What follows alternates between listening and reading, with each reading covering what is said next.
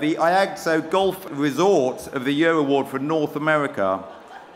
It goes to Barefoot Resort and Golf in South Carolina.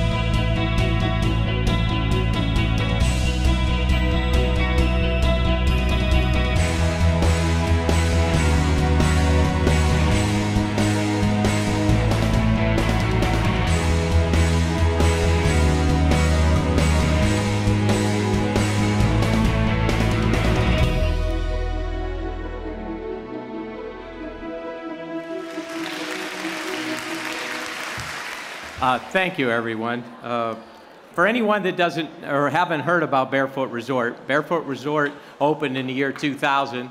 Uh, the Puglia family built four courses simultaneously, starting in 1998, designed by Greg Norman, Davis Love III, Tom Fazio, and Pete Dye.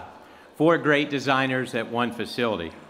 We are delighted to be chosen by the members of the International Association of Golf Tour Operators as the Golf Resort of the Year in North America. We offer our guests an experience above and beyond their expectations on a regular basis, and we appreciate everything the tour operators have done to bring us and send us business in the past, present, and any future business you send us. Thank you again, and we appreciate